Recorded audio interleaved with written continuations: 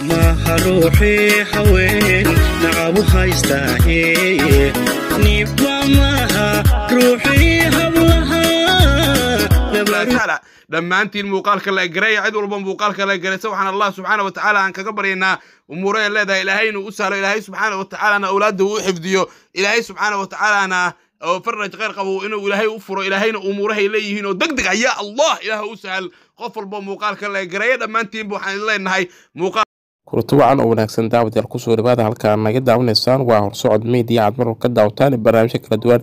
Maanta barnaamijkeena waxaa ku soo qaadan doonaa cayuun qurax oo la sheegay in muuqaal foolxumo ah laga dubay. Muuqaalkaasi ma aha muuqaal ee run ah oo wejeeda aada u muuqdo laakiin waa gabar u shabahanaysa cayuun qurax. Muuqaalkani wuxuu baraha bulshada wareegaya bishii hore laakiin ma aha cayuun qurax dadka aan u xaqiijino. Cayuun qurax ilkaheeda kuma laha wax ee cas ah mana laha ilka casaan ah oo ama ilkaheeda loo yaqaano ilka case. Ee dadka u yaqaanaan ayuuna qurax ma laha ilkeeda aada ay u cadyihiin waa clear. Dadka yaa lagu mara habaabin gabadhana ceebaheedna in la qariyo. Way yihiin rag ayaa jiro markii lagu daadiyo raadiyo in ay gabdhaha ceebeeyaan cayuun qurax waa gabar xijaaban oo barta tictoga caan ka ah. Barta tictoka markay wax muuqaalada ay soo duubeyso xitaa jirkeeda iska dhaafay gabsar xataa ma saarato cayuun qurax waxayna tictoka ku soo gasha ama instagramka sawiro iyadoo xijaaban oo gacmada xataa meel ay ka qabneen soomaalida ayaa caado ka dhigtay in qofka bil-aadanka in ceebahooda aada u faafiyaan laakiin ma aha in gabadhani wax ceeb ah ay leedahayna ma jirto gabadhani sida aan ku naqaano waa gabar aada u asturan waana muuqaal been abuur ah oo laga faafiya cayuun qurux cayuun qurux xiriir aan la sameynay ayay nagu dhaaratay in ay waxyaabahan oo kale ee sameynay ay tahay muuqaal been ah. Ilkaha cayuun qurux waad arki kartaan ilka cayuun qurux ma laho. Ilka ilkaha loo yaqaano ilka case dadka u yaqaanaan waa dadka biyaha cawaa ee biyaha ee dhanaanka saadku ah ama dadkaasi ayaa ilkaasi loo yaqaanaa ilka case cayuun qurux ma aha muuqaalkan waa muuqaal been abuur ah laga faafiyey gabadhani maskiinta ah ee baraha bulshada caanka ah dadka soomaalida waxay caado ka dhigteen qof walbo caan noqda in la daba dhigto oo laga faafiyo waxyaabo xumaan ah ayagoo ka faafin karo waxyaabo wanaag ah. Cayuun qurux waa gabar xirxiran oo marar badan loo saariyey waxyaabo ayada ee mas'uul ka ahayn. Mar waxaa lagu yiri waxay jeceshahay dagaxdal nurshe oo ay rabeen dadka inay iska hor dagaxdal nurshe iyo xaaskiisa. Mar waxaa laga faafiyey muuqaal oo ayadoo aroos joogta dagaxdar nurshe aroos jooga ee isku soo qabteen ee dhaheen dadka. Cayuun qurax iyo dagaxdar nurshe ayaa isguursaday waana been abuur oo dadka lagu mara habaabinaya gabdhada soomaaliyeed way asturan yihiin laakiin in ceebahooda banaanka la keeno waa wax aada u xun. Xitaa haddii ay samayso arrintaasi waa in ceebta loo qariyaa. Nimanka soomaaliyed ayaa caado ka dhigtay in gabdhaha video call intay ka soo wacaan ee dhahaan nagu aadi naasahaga eena screenshot ay ka qaadaan ee baraha markaas uu weydiisto oo galmo weydiisanayaa ee ka wuxuu leeyahay muuqaalkaas ay iisoo dirto ayaan baraha bulshada ku faafinaya ama haddii kale si aan kugu galmoodo gabdhaha soomaaliyeed waxaa kaga diganaa nimanka video go video call haddaa a ku kalsoonta xataa ninkaasi iska daa in aad video callka ama codkaada xataa u diid ninkaasi. Nimanka hadda jiraan wuxuu allah ka qaaday xishoodkii waxayna ceebeeyeen nimanka qaarkood waxayna faafinayaan muuqaalo aan u habbooneyn gabdhaha soomaaliyeed. Waxaa ku arkaysaa baraha bulshada sida facebooka ayaa la wareejinayaa gabdhaha ceebahooda ah. Gabar way ku aaminto waa gabar maskiin ah hooyadaa kale ah. Waa gabar kula dhalatay. In aad ka faafisay muuqaalo anshaxumo ah qofkaasi kuugu aaminay waa arrin aada loogu xumaado waana arrin aada looga naxo. Markaan arko muuqaal gabar soomaaliyeed ah ee qof wiil kale wiil ay ku aamintay si uu u raaxaysto muuqaalkeeda isagana oo sameeyay inuu u soo diro wiilal kale ee sii faafiyaan oo arkaan maxaa la dhahay isheeg ee familkeeda. Gabadhaas waxaa laga yaabaa in ay ku dhawaato inay isdisho. Arintaasi ayaa aada arrin loo xumaado ah.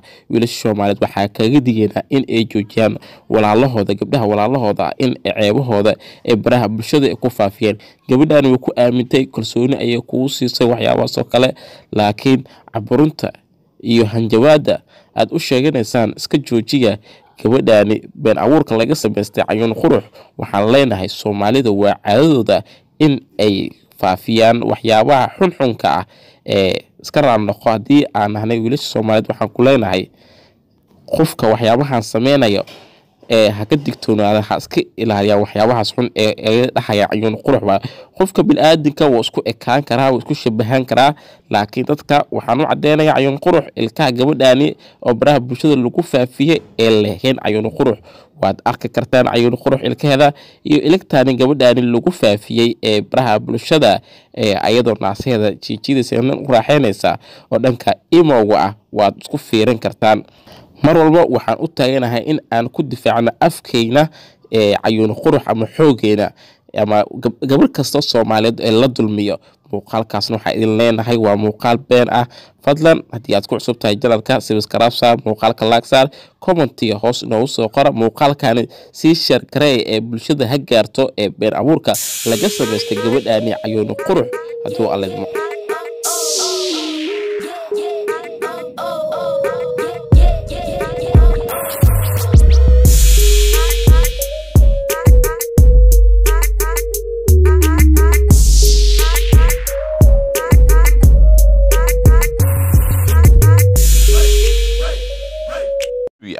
sida waxaa ka mid ah fanaaninta sidaas oo kala sameeya fanaanka qadar ibraahim qadar keyo oo asagana lagu raagjoogo fanaanka ama majlistaha uu koobi gareeyo.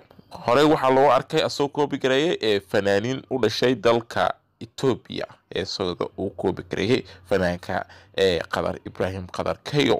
Haatana fanaanka dagaxa dalmurshe ayaana fadeexa log tala galay markii asaga oo isla weyneysiiyey in uu koobigareyn karinin fanaaniin kale ayuu hadda koobigareeyay fanaan ajanabi ah. Waxaa jira fanaaniin aada u tiro badan oo koobigareeya fanaaniinta ajnabiga aan la imaanin taalantiya ee fankooda ee ku jooga. Waxaa kale oo jiro fanaaniin heesaha ajaniibta bedela ee u bedela soomaaliya xataa luuqada soomaaliya sida saxda aan u bedelayna oo soo dhaweynaya fanaaniintana ayaa barnaamijkeena maanta ku soo qaadan doonaa magacyadooda ayaa halkan idinku soo gudbin doonaa fadlan haddii aad ku cusub tahay janalka waxaa si sharaf leh kaa codsan inaad janalka sibscribe saartaan gambaleelkana furtaan muuqaalkana laag saartaan commentiga hoos inoogu soo qortaan waad ku mahadsantii daawashada aad daawanaysaan isku soo laabasho wanaagsan. Barnaamijkeena maanta waxaan ku eegi doonaa fanaanka dagaxadar nuurshe heesta uu dhowaanahan isbuucan dhexdiisa uu soo qaaday oo magaceedu tahay yob iyo nosob markii raadin iyo qaabka u koobgareeyay fanaaniinta hindiya ayaa lagu yiri fanaanku yahay. Haatana waa la soo helay. Fanaanka uu koobigareeyay dagaxadar nuurshe ayaa ah fanaan hindiyaan ah ee lagu magacaabo hirigtig roshan fanaanka dagaxdar nurshe ayaa koobigareeyay fanaanka hirigtig roshan qaabka uu ciyaaraya fanaanka dagaxdar nurshe mar uu wareysa bixinaya ayuu ku sheegay in uu mar un koobigareyneynin fanaan kale laakiin hadda waa la fanaanka dagaxadal nurshe oo koobigareeyay fanaan hindiyaan ah. Aaway taalantii uu sheegay uu fankiisa ku joogo fanaanka ee dagaxadal nurshe asaga keligiisa ma aha dagaxadal nurshe waxaa kale jira fanaaniin badan oo koobigareeya fanaaniinta ajanabiga ah. Waxaa ka mid ah fanaaniintaasi fanaanka qadar ibraahim qadarkay oo asana koobigareeya fanaaniinta u dhashay dalka etoobiya wuxuuna ka koobiyaa heestahooda ayuu bedelaa wuxuuna koobigareeyaa steelkooda